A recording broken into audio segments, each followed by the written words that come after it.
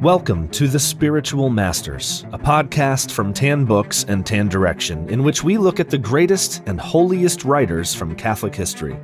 Join us as we explore the life and times in which they lived, an overview and study of their greatest works, and how we as Catholics can look to these masters as models for our own holiness on our journey to heaven. Welcome back. In our continuation of the series on the spiritual masters, we're talking about St. Augustine, one of my uh, favorite saints. Kind of a new in that because of preparing for this and reading him and seeing how much I, I love him and appreciate him. His work just really talks to me. And I got one of my good friends, Paul Thigpen, here to help me out with this. So thanks for being back here, Paul. Thanks, Conor. Good to be here. So uh, last last episode we talked about. Um, on Christian doctrine, which is his great work on how to read and interpret and to defend Holy Scripture. And today we're talking about, uh, again, one of his probably top four or five most uh, important works, best known works, and it's on on the Trinity. It's just on the Trinity. And and this book, I'm just going to kind of mention uh, a little bit of the historical side, and then you can kind of help fill in the gaps that that I have. I have plenty of gaps. But the Trinity was obviously one of the one of the biggest things that the early church had to work out. I mean, this is complicated stuff. We're getting into heavy duty theology here.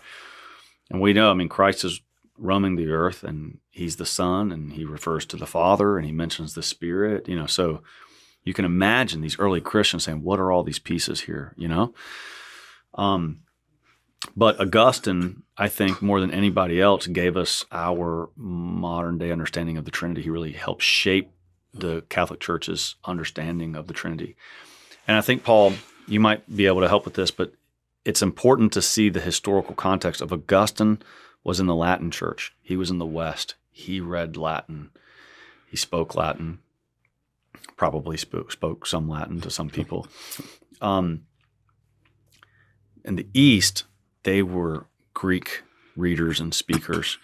And I believe it was Ambrose, Augustine's mentor, who was really one of the last people who did both Latin and Greek. And the church really kind of had, you know, um, not an official schism or anything yet. That wasn't until later. But but the the Eastern theologians, the Eastern monks, they they weren't reading Augustine because they didn't read Latin, and likewise, Augustine wasn't reading Greek.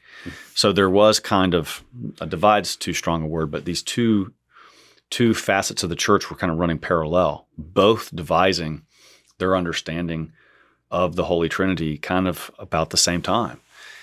And uh, I think they pretty much were, you know, in agreement on the Father and the Son. And the Son, that issue was worked out by the in the Arian heresy, which we should maybe talk about briefly. But eventually, they got to settle on issues of the Holy Spirit. That's what got people very confused. Um, so let's first talk about the Father and the Son. Let's talk about the Arian heresy, if we can just mention that briefly. Why don't you tell us just briefly about that? Because we can't really understand the Trinity without understanding the Son, and we don't understand the, his, the historical context of the Son without the Council of Nicaea and who Arius was. Yeah. So just for, to to put up the framework, the Council of Nicaea is 325. It's called then, and uh, Augustine is born in 354. So he's a generation after that. St. Athanasius was one of the, the great folks who were, you know, had the Orthodox position. Father of Orthodoxy. I yeah, that's what he's yeah. called. Yeah, and he's and he's Eastern. You know, so he's uh, Constantinople, and I mean not. I mean sorry, Alexandria. Alexandria. And then um, you had in in Cappadocia, in what's now Turkey, you had eventually the the Cappadocian fathers Gregory um, uh, Nazianzus, Gregory of Nyssa, Basil, Saint Basil of Cappadocia. Are they brothers? Uh, two of them are brothers, and the third, you know, was not. But okay. Yeah. they uh, they really helped to work out things about the Holy Spirit. So you did have that going on in the East, hmm. but eventually you have though was just a disagreement about whether the Holy Spirit proceeds just from the Father or from the Father and Son, and eventually that was one of the theological flashpoints in the, uh, the schism between East and West. But that was not till 1054. Uh, so what you have going on is uh, early on, as you said, early church trying to figure out, okay, Father seems to be God, Son seems to be God, Holy Spirit, but and there are people who disputed that. How do we get all that together? And um, one of the you know, what, one one solution was well, it's really just one person, but he wears three masks according to how he's relating to people as creator, that's father, as redeemer, that's son, as um, sustainer, that's Holy Spirit. And churches say, nope, nope, that's not right. and then some versions were like tritheism, where they're actually separate, three separate gods. Nope, hmm. nope, that's not right. Um, and so they had to had to hammer it out, and people were trying to. They would kind of throw ideas out. And uh, but one idea that was put out there was uh, by an Egyptian priest named Arius. So he's you know, generation before um, before Augustine, and his notion was uh, to base it. And this is interesting enough. He he based it on certain biblical texts. That if you took them just at in a very obvious literal reading without balancing them against other things, it makes sense. He could make a biblical argument that there's only one God, the Father, and that the Son is actually a creature that the Father made. It's the first of all creation. And through him, all the rest of creation was made. You get that in John. But on the other hand, if, if you look at the big picture, you've got God on here and then a big chasm and then everything else that's created. He's on the other side from God, mm. that chasm. Mm-hmm. and that was one thing, you know, the folks who really knew the apostolic tradition were having to say, no, that, that, that doesn't work.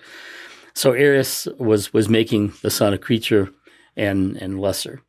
Now you'd have within the more orthodox tradition people ch- trying to say if there's some kind of priority within there that the father is somehow prior more than prior to the son, um, not in time but in um, his his being. So you have all these people trying to work it out, but then Arius goes this direction, and that's that's really a bridge too far to say the son is created. You know, the real St. Nicholas punched Arius in the face. Well, that's the story. At the Council of Nicaea, which Nicholas attended, he punched him out because of his blasphemy. Yeah. Don't say such things. we need some more saints like that these days. you know? so, yeah. So, but okay. So back to the the Council of Nicaea. What's being duked out here, and this, and how the you know. Let's talk about what's being duked out because it, it sets a framework for what Augustine's sure. trying yeah. to do with the yeah. Trinity later on. So the church says, okay, we've had all these variety of speculations or even just proposals. This must be how it is. This is how we can have Father, Son, and Holy Spirit and somehow speak of all of them as God. And some of the ways I mentioned, they, you know, oh, there were just one guy wearing three masks, or it's actually three gods, or there's uh, there's within them a, a, hierarchy so that you've got the fathers at the top and the son, and uh, but the council comes together and um, and under the leadership of the Holy Spirit defines the dogma of the Trinity as that that God is three persons in one substance or essence or nature. It's called in different ways, and even that had been so difficult to come about because of the differences between East and West and the languages. So um, there were different words being used for the same thing and didn't necessarily mean the same thing. You know, it is if you ever translate a, a book, you know that you don't always have exact equivalent words between the languages. Yeah. But they finally did hammer it out. Um, the crazy thing though was that afterward, it's not as if the whole church said, "Okay, we accept that." Instead, I mean, by Saint Augustine's time, it had gotten so many of the bishops had become Arian, even though the council had said that. That Jerome one time and discussing the, the situation said the world woke up and groaned to find itself Arian. Wow. Wow. Uh, the majority of the bishops had fallen into the heresy. Wow. Was that just because it's hard to understand Trinitarian theology? How can you have three persons in one God? I mean, was that the problem? I think a lot of the heresies throughout history come about because somebody offers a simple solution to a theological issue mm. that's simplistic. It doesn't work because it really it's it oversimplifies. And I think this is one of those things where, oh yeah, if we say that, then then it all makes sense. and uh, and you get that again and again, even in the history of, of the church later, when you get the Unitarian movement um, to try to say, oh, just bypass all that. He's just one God. yeah. But it doesn't account for all the things. That, so you know, if, if there's only one person, the Trinity, then who's Jesus praying to in the garden? You know, for instance. Yeah. Yeah. I think that's a good point where I'll, I'll say one of my favorite things in theological discussions is something that Saint Anselm said. Saint Anselm is a thousand A.D. somewhere around there, and in the Proslogion he said, "Fides quaerens intellectum." He said, "Faith seeking understanding," but it, scholars consider that he actually got that from Augustine, who said something similar. And I might butcher the Latin, but credi ut intelligus, which means believe so that you may understand.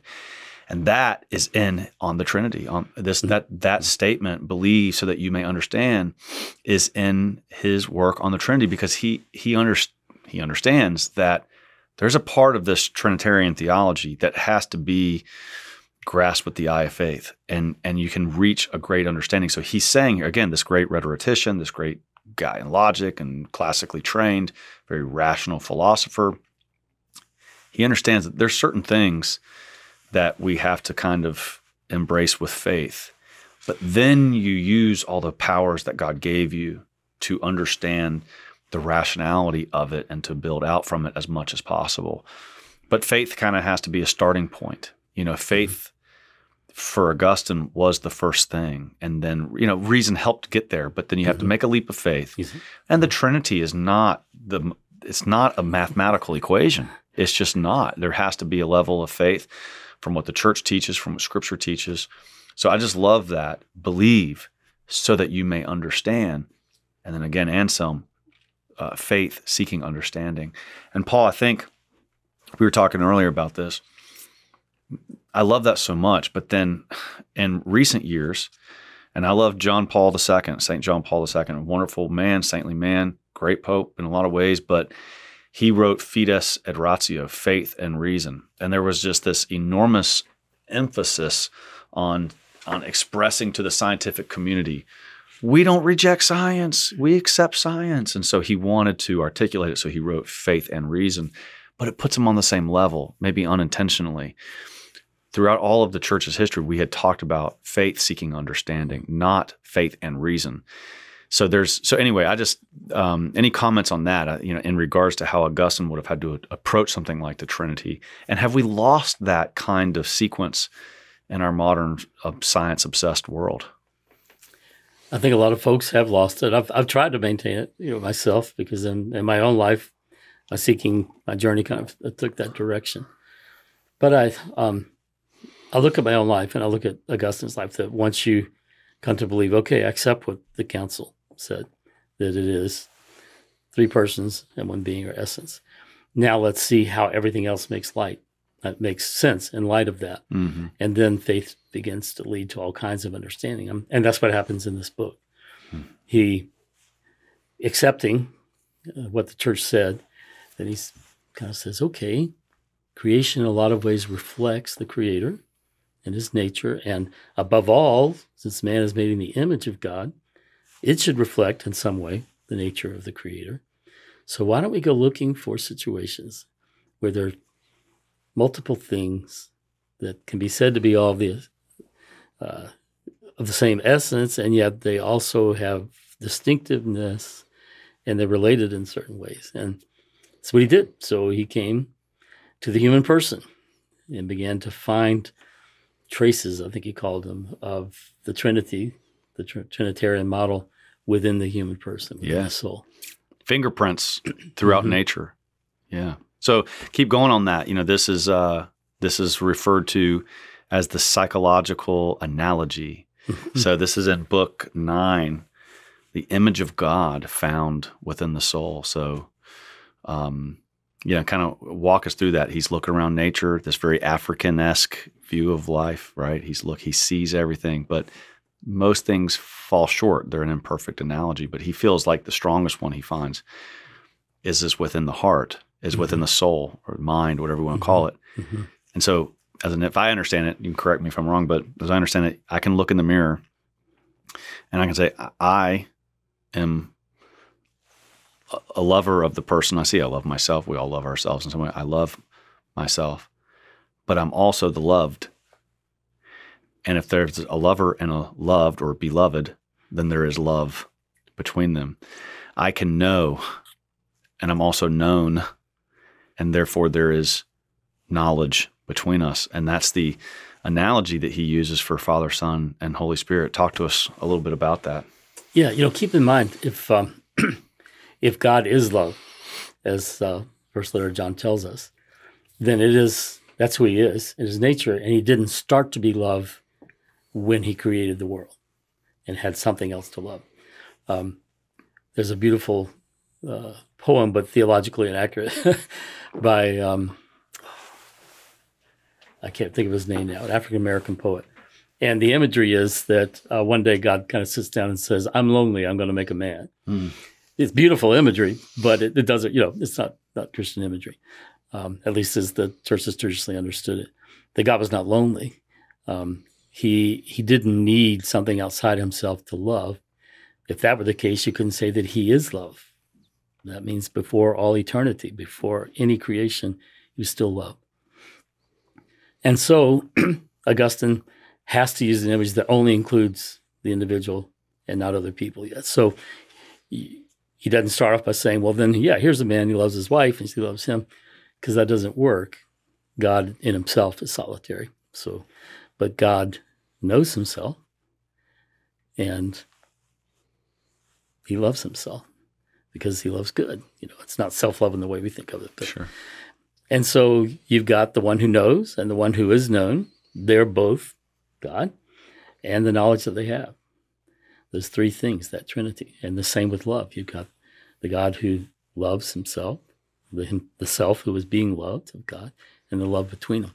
So within within the very nature of God, you've got three distinct aspects, you might say. Yeah. And it's not a he would you know he would never say this is an exact analogy, and but this is this is a trace within human nature, within the human soul, of a of a Trinity that reflects in some ways the image of God.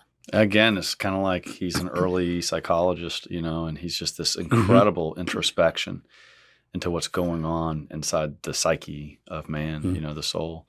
So, um, yeah, it's beautiful. And in this work, um, uh, in book five through seven, this is particularly interesting for for you, I think, because he he he talks about the names of God, and he says there's Lord, there's Creator, there's Begotten, there's Father, Son, Spirit.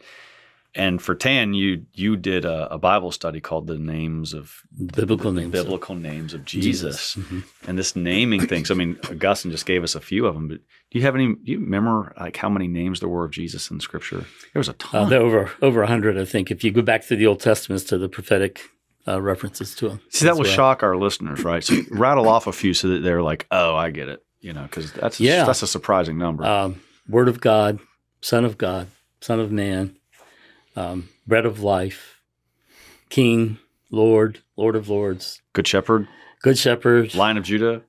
Keep going, right? Yep. you know, and and on and on. It, it keeps going, and it's incredible. so you start, and it's like a fun game. How many can you name? Oh, yeah. and Messiah, Christ. I mean, Messiah. of course, those obviously, but yeah. It's amazing, and the study you did for us, I think, I think you stopped at like twenty five or six or something like Probably that. Something you know, something like I did that. clusters of names. Yeah, clusters. It's amazing. But um, Tan publishes another book just on this point, and I think Augustine would be very happy with this point. You know, we published uh, uh, this other this other book um, called The Happiness of Heaven, and mm-hmm. uh, the it's by a, this French author back from the 1800s called Boudreau, I think. He published another book that I haven't published yet, but I want to, and it, but I've read it, and it's called Our Father. Simple, simple, but it's not like actually on the Our Father prayer. But the premise of the whole book is this, Paul he says, of all the names that God has given himself throughout Holy Scripture and Revelation, the one that the Father wants the most is the Father. He mm-hmm. wants Father. And that, sh- that reveals something about the relationship that he wants to have, like the name he's choosing. You know, sort of like if I go to my kids and, and I say, I want you to call me, you know, dear father all the time versus dad. It's a very different thing. And we know Abba was mm-hmm. much more of an endearing thing than father. It's probably not a very good translation. But just thinking about the names of God, Augustine is grappling with this. He's looking and saying, okay, how is God wanting us to refer to him? And father is a, a, a very personal, you know, relationship. And it's the same that, you know, that Christ used for him. Mm-hmm. So I just find that great. And uh, on, so on in this work on the Trinity, which is considered one of his greatest works, you know, he grapples with many of, of these different things. And I guess the book is mostly known for that psychological analogy of love or beloved love itself, that interior imprint, the trace, the the fingerprint of the Holy Trinity on creation, which is just an incredible thing. So, um, you know, with that, any, you know, bef- our next episode, uh, we're going to talk about his sermons and his homilies, which you have a, a special affection for. Um, but any last words on Augustine on the Trinity? I would say that I would I would encourage people to to do as he did to uh, receive what the church has said and then just to begin reflecting on it. And uh, for one thing, it can teach you humility and it can teach you a sense of wonder. I like to define wonder as humility in the sense of, in the presence of mystery, and can teach us just wonder at, at who God is. But it should also uh, teach us a lot about ourselves. That if, if we are in the beloved uh, Son, as the Scripture says, if we've been adopted into God's family as sons and daughters, uh, He's the only begotten Son, but then we're adopted sons and daughters. What does that mean about our relationship to God? Look at how Jesus relates to the Father. That's the pattern for us. Beautiful. Thank you, Paul. We'll see you next time. Okay, Conor. God bless. This has been an episode of The Spiritual Masters, a podcast brought to you by TAN. To follow the show, learn about more inspiring holy men and women, and to support the Spiritual Masters and other great free content from TAN, visit spiritualmasterspodcast.com to subscribe and use coupon code MASTERS25 to get 25% off your next order, including works by St. Augustine and countless more spiritual masters to strengthen your faith and interior life. And thanks for listening.